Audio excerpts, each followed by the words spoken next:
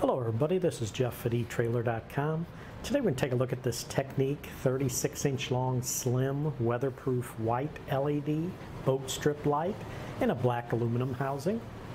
Now this is a nice low profile LED strip light that will produce a bright white light for pontoons and speedboats. I want to zoom in to show you up close what it is. Basically you can see it's a nice weatherproof casing which will protect the LEDs against dirt, dust, and water. They do use premium LEDs, which are energy efficient, long lasting, and vibration resistant. They are rated for up to 50,000 hours of operation. They do use a military grade construction of the circuit board, uses urethane potting, which offers better protection than common epoxy potting.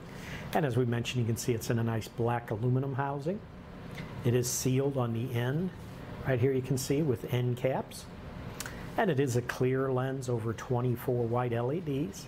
It is compatible with 12 volt DC systems and it does hardwire to your application. If you look on the very end right over here, you can see there's two wires, black and a white wire. One's for power, one's for ground. The wire total wire length is about 9 inches. Now it does easily mount with snap-on clips. Those clips are sold separately on our website. They're listed on this product page as a related product. The available mounting clips allow for three different mounting angles. You can get them to mount parallel or flat, 45 degree mount, or a perpendicular 90 degree mount. Now on this length of strip it does require about four mounting clips to mount it correctly. Just to zoom back out, a few dimensions on this. The overall length from one end to the other is 36 inches long. It is a half inch wide and the thickness is only about a quarter of an inch. The light output on this is 1080 lumens Input voltage is 9 volts to 14 volts. And what we're going to do is hook this up to some 12 volt power just so we can show you how bright the light is. So we'll go ahead and hook up our power and our ground. And once we got that connected, go ahead and turn on our power.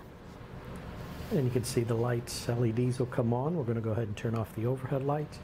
And you'll be able to see if I hold this up with the 24 LEDs, you can see the light it'll give off on this strip.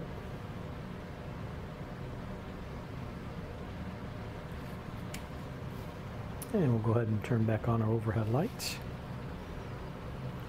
Turn off our power. But that should do it for the review on this TecNiq 36 inch long, slim, weatherproof white LED boat strip light in the black aluminum housing.